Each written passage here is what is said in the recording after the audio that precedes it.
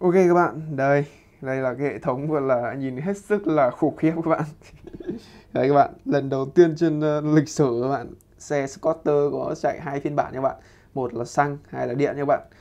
Đó, sử dụng điện là 24V 250W này các bạn, con motor này này. Con motor này đồng thời nó phát điện nha các bạn, không chạy điện mà chạy xăng nha các bạn. Đi là nó phát điện đủ để bóng đèn các thứ, điện đóm các thứ chạy thoải mái luôn nha các bạn. Mà thậm chí là nó có thể sạc luôn được chiếc xe các bạn nhá. Đấy. gắt không các bạn?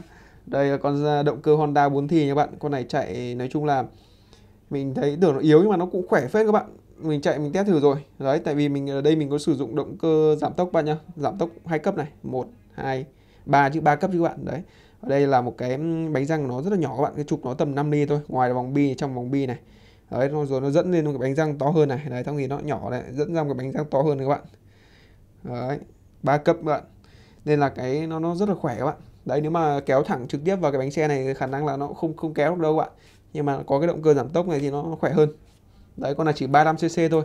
Nhiều anh em chế động cơ ờ, hai thì 50 cc, nhưng mà chạy, gọi là, xịt khói, vẫn không đi được. Nhưng mà con này chỉ cần nhích ga nhẹ, bóp nhẹ nhẹ khoảng ờ, 40 50 phần trăm là nó vọt rồi các bạn nhé đấy, nhiều khi mà cái, những cái động cơ hai thì mà các bạn chế mà không có giảm tốc cái thứ, bạn nối trực tiếp vào chạy nó rất là ì các bạn. Đấy, nó cứ ga hết cỡ lên rồi mà mà, mà, mà nó không đi các bạn nhá. Đấy tức là cái chỗ này này các bạn cô này này nó bị trượt nha các bạn nó bó ở đây.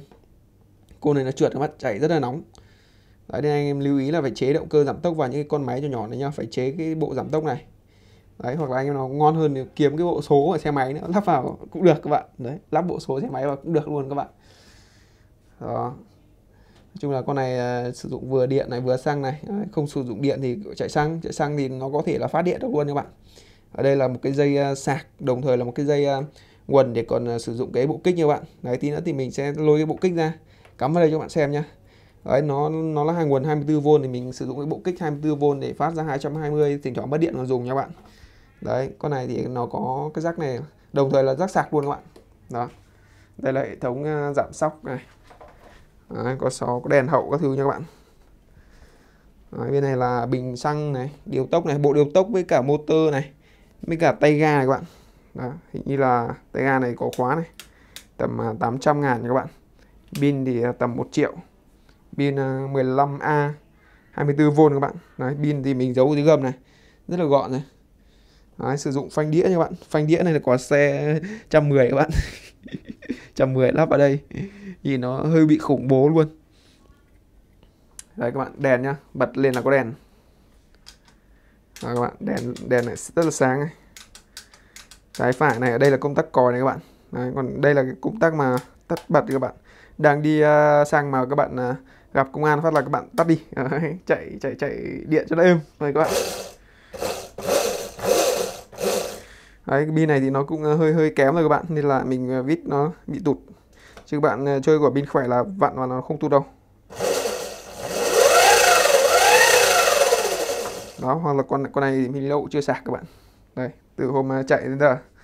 Đây, test thử nha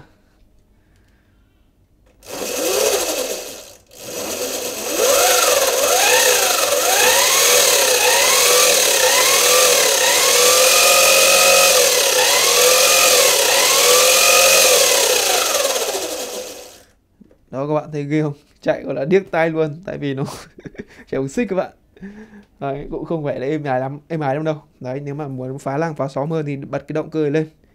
Đấy tí nữa mình nổi cho bạn xem nhá. Ở đây thì mình có chế một cái clip xe đạp nha bạn. Đấy để khi mà đạt được vận, vận tốc rồi thì mình có thể thả thả ra để nó tự bon nha bạn.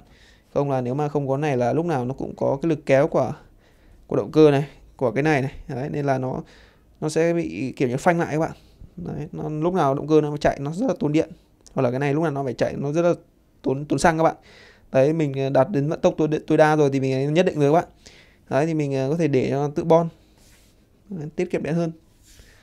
Đấy, các bạn bánh này thì có clip chạy rất là trơn nha các bạn. Đấy. Đây là chạy ngược này. Ấy. Đấy nếu mà không có clip thì là như này này các bạn. Nói chung là cũng trôi được nhưng mà cũng ngang phanh các bạn.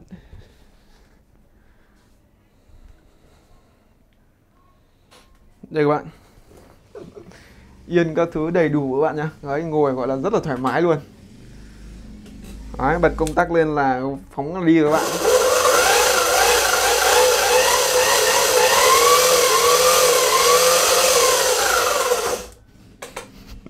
Con này chạy hai cái là khả năng là đốt đốt lốp nha các bạn. Đấy. bây giờ nổ máy thử cho mọi người xem là, là xem như nào nhá.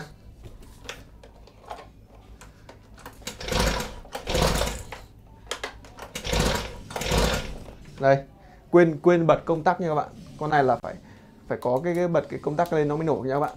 Đây công tắc đây. Bật công tắc lên này. Đấy chạy ngay các bạn. Bóp bóp bóp thắng là chạy nha các bạn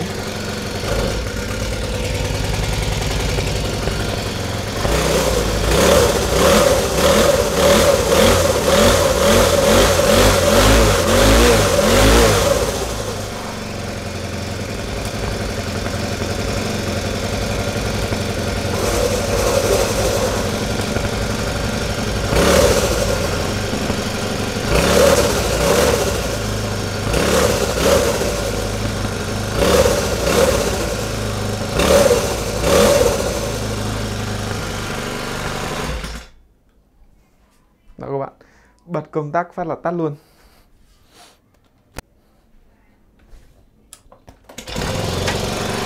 Đây các bạn. Đấy.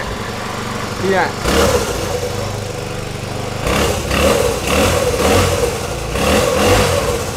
Đấy. Hơi bị chất nhá Đang đi gặp công an này các bạn. Đấy gặp công an. Đấy, gặp công an là là chuyển sang cái chế độ gọi là điện ngay các bạn nhá. Đấy, anh em nào cần xe này không liên hệ mình nhá. Bao công an luôn. Anh em nào mà bị công an bắt cứ điện thoại ngay cho mình nhá. Mình bán cho con khác nha các bạn. Chứ con này là chỉ chạy trong nói chung là đường à, gọi là nội bộ thôi các bạn. Chạy vòng vòng quanh xóm thôi. Chứ chạy ra đường lớn là không được các bạn. Công an gặp là nó hốt luôn đấy các bạn. Dù là có điện các thứ nhưng mà à, bác công an nào bác vui tính là bác hốt là thu luôn nha các bạn. Đây là con này thì nói chung là chạy vòng vòng quanh nhà thôi. Ok bây giờ thì mình sẽ tiến hành đi à, test thử nha để thử cho mọi người xem